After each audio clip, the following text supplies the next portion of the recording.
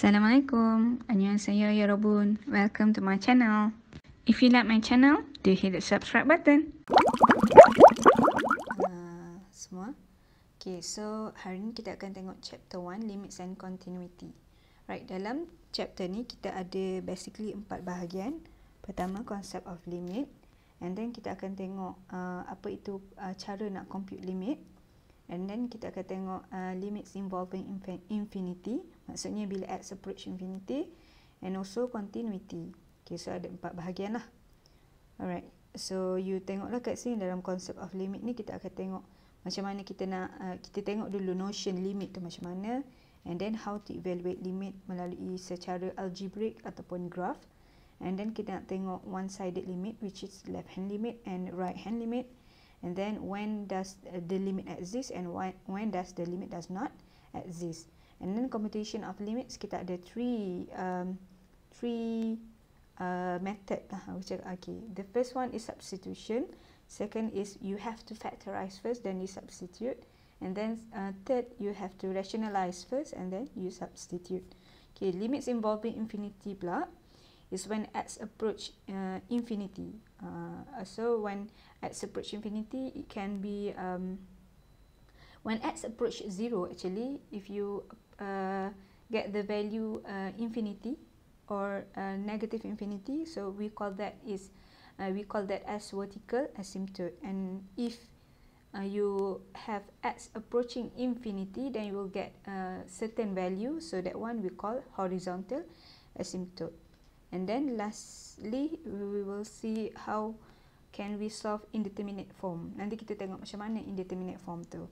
And then continuity pula, uh, macam mana kita nak cakap that function tu continuous. Okay, uh, continuity lah, continuous. So, uh, to to get, to get the function as continuous, you have to um, satisfy three condition lah. The first one, the limit must exist and then uh, FA must be determined and the limit x approaching A for Fx is equal to FA. Alright, so kita akan tengok the first one, concept of limit. Okay, macam mana limit? Limit ni limit of a function. Maksudnya bila you have a function approaching a value contohnya, value when x approaching a value juga. So, katalah you have x approaches C. Okay, daripada mana-mana side lah, daripada kiri dan kanan ke. Contohnya kat sini. Contoh kan, x approaching C. Uh, so, daripada kanan dan kiri. So, um, bila you dapat at that point, so katalah macam dekat sini dia nak approaching C kan. Then, this function juga dekat dekat bahagian fx dia tu ataupun y dia, dia approach another value which is katalah kat sini uh, that fx equals to L. Contohnya y equal to L. So, kita kata limit when x approach C, for a function fx is equals to L. So approach uh, ching, approaching a value x approach something ni kita tulis macam ni x approaching C and ini nilai lah yang berada pada x. So when x approaching C so fx is equal to L macam kat sini equals to L. So cara tulis dia adalah this one. Alright. Okay, so ini adalah notion dia.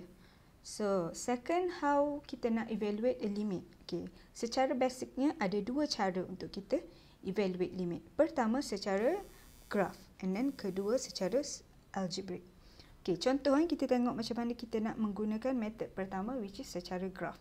Okay, let's say dia kata evaluate limit x approach to where the function fx kita adalah x square minus 4 over x minus 2. Alright, untuk secara graph, actually kita nak sketch graph lah. Okay, so um, bila kita nak tengok limit, kita kena tengok dua side. Kan tadi kita kata limit ni bila x approaching C. Bila dia kata approach C, kita kena tengok daripada left side dan juga right side. So katalah ini ini adalah orang cakap apa? Uh, line X you kan. So katalah this value C contohnya kan. So, you nak tengok X ni approach C daripada belah kiri, X approach C daripada belah kanan. Ha, macam tu. So, macam kat sini, C, value C kita adalah 2. So, katalah this C is 2. No, no, no. Okay, like this. Oops. Okay, so katalah X kita sekarang ni adalah 2 kan. So, function kita adalah X square minus 4 over X minus 2. Okay, the first one, bila kita nak tengok, dia approach daripada belah kiri. So, we nak tengok yang ni lah. Hmm, so, this one dulu. Kita nak tengok x approach daripada belah kiri. So, katalah ini adalah 2. So, you kena ambil satu nilai yang paling dekat dengan 2. Which is apa? The first nilai yang paling dekat dengan 2 adalah 1.9. Okay. And then, bila dia makin dekat lagi, makin dekat. Katalah this one is 1.9 kan. This is 1.9. So, nak dekat lagi kat sini berapa? 1.99. Dekat lagi. 1.999. Dekat lagi. 1.9999. So sebab itulah dekat table ni you akan tengok ada uh, ada empat value. Biasanya kita akan ambil empat value je lah dan kita akan ambil biasanya uh, bermula daripada uh, one decimal places uh, sampailah ada empat decimal places. Okay. So bila you kira guna calculator, uh, you bila you masukkan nilai, you akan dapat fx equals to 3.9, 3.99 and sampailah 3.999. So you nampak dia approaching berapa tu? Dia approaching 4 kan sebenarnya. Okay. So ini daripada belah kiri. Okay. Sekarang kita cuba tengok pula dia daripada belah kanan. Okay. Pun sama juga. Katalah daripada belah kanan. So ambil apa nilai paling dekat? Macam ni. Beza sebelum dapat 2 tadi daripada belah kiri adalah 1.9. Jadi you agak-agak berapa pula beza daripada belah kanan yang menghampiri 2? Mestilah 2.1. So you ambil biasanya paling dekat adalah 0.1 lah perbezaan dia. And then you boleh uh, lagi dekat dekat dekat uh, macam tu. So the first one adalah 2. Uh, 2.1. So nak dekat lagi 2.01. Nak dekat lagi 2.001. Nak dekat lagi 2.001. So nampak tak kat sini? Dia menuju ke arah 2. So dekat sini, di sini, sini sampailah 2.0001 tu. Ah, dah memang paling dekat lah tu kita kata. Nak dekat lagi boleh lah 2.00001. But we uh, biasanya kita ambil um, 4 je lah. 4 je nombor yang paling dekat 4 nilai. Okay. So uh, again, if you masukkan this value dalam calculator, you will get 4.1, 4.01, 4.001 and then 4.0001. So sama juga, your value will actually approaching 4. So ini adalah kita punya nilai yang paling dekat. Okay, so secara grafnya, Mak tadi ini bila you nak buat graf, you kena buat table dulu lah kan. So you dah buat table, then you pun plot lah graf. Okay, So ini the first one ni ni adalah graf untuk um, daripada left lah. So bila you lukis graf, you nampak nilai ni memang bila x ni approaching 2, dia memang menuju dekat 4. Tapi not exactly 4. Okay, bila you ada limit, dia approaching. But kita ambil lah nilai yang paling dekat tu which is 4. So you nampak ini maknanya as x approaching 2 daripada belah kiri, you nampak this graph, this fx ni tadi, x square minus 4 over x minus 2 tadi ni menghampiri 4. So itulah maksud dia eh. So lagi satu cara you tulis bila x limit you nak buat dia daripada left. Nampak kat sini. Kita tulis dia sebagai x approach to pasal ada negatif dekat atas. Bukan negatif 2 eh. Ramai orang confuse 2 negatif dengan negatif 2. Itu adalah benda berbeza. Bila ada 2 sorry bila you ada dua negatif macam ni, itu bermaksud dua daripada belah kiri. Okay. Sama juga kalau untuk belah kanan, you akan ada x approaching to ada positif dekat atas. Which is dia approach to daripada belah kanan. So sama juga bila you plot graph, as x approaching to ni daripada belah kanan, you nampak graph ni dia menurun ke bawah. Which is um, uh, which is dia pun menghampiri empat. Uh, so macam itulah. So bermaksud dekat sini, you nampak the two one-sided limit. Okay, bila you nampak dua-dua one-sided limit ni daripada kiri dan kanan, nilai fx dia adalah equal. Okay, kalau nilai dia adalah equal, kita summarizekan bahawa result dia adalah sama, which is uh, value L lah, which is kat sini L kita adalah empat. Okay, alright. So seterusnya, ini adalah metod pertama secara graphically. Metod kedua kita nak tengok pula secara algebraic. Apa beza graph dengan algebraic? Graph ni kita uh, plot, kita sketch graph. Okey, macam mana nak sketch graph? You kena plot table dulu. Uh, sebelum nak plot graph, you buat table dulu. So sama juga itu adalah cara graf. So untuk algebraic pula adalah secara uh, kiraan lah panggil uh, secara algebraiknya. Okey, katalah you ada tadi limit x approach to fx. So you ada limit x approach to x square minus 4 over x minus 2. Okey, untuk you kira secara algebraic, you kena tengok dulu macam mana you boleh simplify this fx. So katalah kita ada x square minus 4. So bila ada ni, ni adalah konsep apa ni? a square minus b square. Ini adalah x square minus 2 square. Okay. So bila ada a square minus b square, uh, ini yang saya cakap you kena guna basic yang you belajar masa maths 1. Which is bila you ada nampak a square minus b square, you tahu ini adalah asal daripada a plus b times a minus b. So bermaksud kat sini you boleh pecahkan dia menjadi x minus 2 dengan x plus 2. So then bila you uh, dah uh, dah kembangkan uh, apa factorizekan apa nama dia? Hmm, bahagian uh, denominator tadi, you nampak kita boleh cancel out dengan bahagian bawah. Which is you boleh potong x minus 2 dengan x minus 2. So you tinggal limit x approaching 2 bagi x plus 2. Okay, bila you dah tinggal uh, macam ni, So you dah boleh tengok bila limit x approaching 2 dekat sini bermaksud you menggantikan nilai x sebagai 2. So you dah dapat 2 tambah 2. So you dapatlah 4. So nampak tak nilai dia adalah sama dengan cara graf tadi yang you kira. Okay. So bermaksud kat sini secara algebraic ni you dapat 4. Okay. So macam saya cakap tadi lah. Left hand limit dengan right hand limit ni adalah nama lain dia adalah one sided limit. Maksudnya limit daripada sebelah pihak ha, macam tu daripada one side sahajalah ha. okay, kalau left hand limit maksudnya you ada fx tu dia get closer to L as x approaching A any value lah. A ni adalah x lah kan. Daripada kiri from the left. We say L is the left hand limit bagi fx pada A. Okay, benda yang sama kita tengok tadi. So cuma kita nak tengok kat sini uh, cara tulis dia. Okay? cara tulis dia adalah bila you ada limit x approach A kat sini, A minus. Okay, ingat lagi, A minus bermaksud A daripada belah kiri. So, you dapat nilai dia adalah L. So, kita kata L tu adalah left hand limit dia. Ataupun, apa lagi maksud selain kita kata dia belah kiri? Maksud kedua adalah, bila you ada x approach A, di mana cara tulis dia yang lain adalah, you nak consider nilai x yang lebih kecil daripada A. Maksudnya, nilai yang lagi kecil daripada A lah sebab kita kata tadi kalau you ada ni kan uh, ni adalah um, kata apa uh, number line okay, number line bagi X katalah ini adalah A kan? So kalau approaching A daripada belah kiri so you nak consider nilai yang kurang daripada A. Macam tadilah bila kita ada nak approach 2 kan? So you akan consider nilai kurang daripada 2 which is 1.9 ha, macam tu.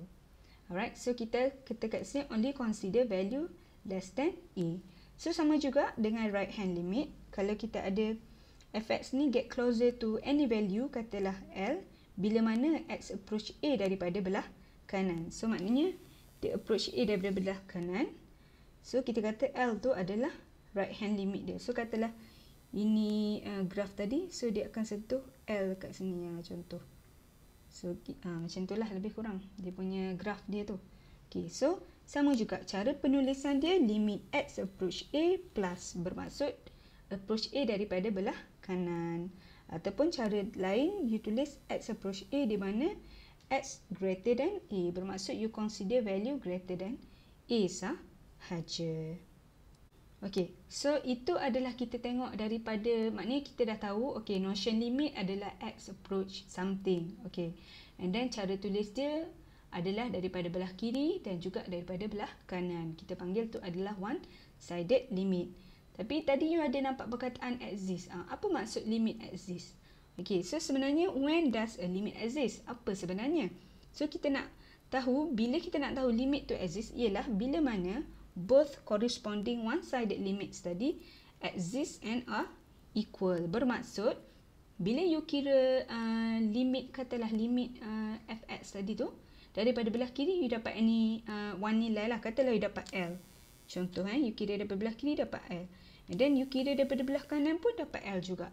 Ha, so bermaksud bila you dapat L, bermaksud you dapat any value, bermaksud ni dia bukan infinity ke, dia bukan undefined ke. Okay, dapat any nilai, bermaksud limit tu exist. And then, bila limit tu exist, you dapat pula nilai dia adalah sama. Maknanya belah kiri dapat L, daripada belah kanan pun dapat L juga. Bermaksud you tahulah, you boleh conclude tadi, limit x approach A tu adalah L. So, inilah dinamakan limit x exist. Hmm. So, samalah ni adalah cara lain lah. Tulis warna oren tu. Hmm. Tapi macam mana pula nak tahu limit does not exist? Okay, bila dia tak exist adalah bila mana limit bagi belah kiri uh, exist, wujud. Katalah nilai dia L. Tapi limit daripada belah kanan dia bukan L. Katalah dia N contohnya lah. I shouldn't put L here, okay? So, maknanya nilai uh, nilai tu L dengan N tak tak sama. So, not equal. Uh, itulah baru kita kata the limit does not exist. Okay, so kita tengok contoh lain. Okay, katalah you ada limit x approach to gx. Katalah gx kita adalah x square minus 5 over x minus 2. Okay, nampak kat sini kita nak tengok x approach to. So, ini cara dia kira secara graphically. Uh, so, dia tengok daripada kanan dan kiri. Okay. Uh, yeah, okay, ni salah ni. Ni bukan daripada right. This is from the left, sorry. Ni actually daripada from left. Sebab apa left? Sebab x approach tu tapi dia bermula 1.9. Maksudnya nilai yang kurang daripada 2. So mestilah daripada kiri. So ini baru daripada kanan. Ego apa pula salah ni. Alright. So ini adalah nilai yang lebih besar daripada 2. Ini lebih kecil daripada 2. So samalah bila nak approach tu you ambil beza dia 0.1. So you ambil 1.9, 1.99, 1.99 sampai 1.999. Ha. Macam tu. Dan you masukkan nilai dalam kalkulator you. Masuk-masukkan nilai tu apa? Masukkan ni lah. Ni kan nak cakap ke kan? Tak boleh cakap. 1.9 square minus 5 over 1.9 minus 2. Ha, macam tu. Dan seterusnya nilai. Dan you akan dapatlah 13.9, 103.9 dan you, kalau you nampak nilai dia makin tinggi tinggi. Nilai dia makin tinggi. So, you rasa agak-agak kalau you letak lagi besar, you rasa nilai dia menghampiri apa ni? Dia menghampiri positif infinity. Sebab dia makin besar. You tak boleh nak plot pun the graph. Okay, katalah daripada belah kanan pula. So, daripada belah kanan, you akan ambil nilai lebih lebih besar daripada 2, which is 2.1.